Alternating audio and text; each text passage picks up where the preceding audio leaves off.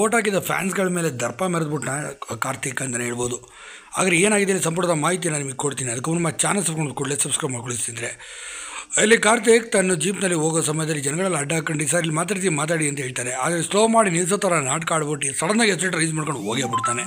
ಜನಗಳು ನಿಂತಿದ್ರೆ ಅಂತಲೂ ಕೂಡ ಕೇರ್ ಮಾಡ್ದಲ್ಲ ರೀತಿಲಿ ಹೊಡ್ಕೊಂಡು ಹೋಗೋ ರೀತಿಯಲ್ಲಿ ಹೊಡ್ಕೊಂಡು ಹೋಗ್ಬಿಡ್ತಾನೆ. ಇದನ್ನು ನೋಡಿದಂಥ ಅಲ್ಲೇ ಇದ್ದಂಥ ಫ್ಯಾನ್ಗಳೆಲ್ಲ ತುಂಬ ಜೋರಾಗಿ ಗರಿ ಆಯ್ತಾರೆ ಕಾರ್ತಿಕ್ಗೆ ಧಿಕ್ಕಾರ ಅಂತಲೂ ಕೂಡ ಕೂಗ್ತಾರೆ.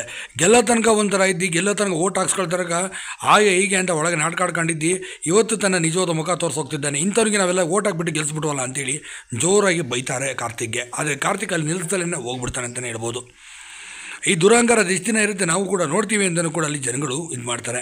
ಹೇಳಬೇಕು ಅಂದರೆ ಬೇರೆ ಎಲ್ಲ ಕಂಟೆಸ್ಟೆಂಟ್ಗಳು ಕೂಡ ಒಂದು ನಿಮಿಷನಾರು ಮಾತಾಡಿಸಿ ಹೋಗಿದ್ದಾರೆ, ಮಾಧ್ಯಮದವರಿಗೆ ಗೌರವವನ್ನು ಕೊಟ್ಟು. ಆದರೆ ಕಾರ್ತಿಕ್ ಯಾರಿಗೂ ಕೂಡ ಗೌರವ ಕೊಡದ ರೀತಿಲಿ ನಡ್ಕೊಂಡು ಹೋಗಿದ್ದಾನೆ. ಹೌದು, ತುಂಬ ಜೋರಾಗಿ ಕಾರು ಸ್ಪೀಡಾಗಿ ಕೂಡ ಚಲಾಯಿಸಿಕೊಂಡು ಹೋಗಿದ್ದಾನೆ ಅಂತಲೇ ಹೇಳ್ಬೋದು. ಕಾರ್ತಿಕ್ಗೆ ಇಷ್ಟೊಂದು ದರ್ಪ ಒಳ್ಳೆಯದಲ್ಲ, ಇದು ಮುಂದೆ ಭಾಳ ಕೆಟ್ಟದಾಗಿ ಪರಿಣಾಮ ಬೀರುತ್ತೆ ಅಂತಲೂ ಕೂಡ ಜನಗಳು ಅಲ್ಲಿ ಶಾಪ್ ಹಾಕಿದ ಘಟನೆ ಕೂಡ ನಡೆದೋಯ್ತು. ಹಾಗಾದರೆ ನೀವೇನಂತೀರಾ ಕಾರ್ತಿಕ, ಈ ದುರ್ವರ್ತನೆ ಬಗ್ಗೆ? ದಯವಿಟ್ಟು ಕಮೆಂಟ್ ಮಾಡಿ. ಹಾಗೆ ಲೈಕ್ ಮಾಡಿ ಶೇರ್ ಮಾಡಿ.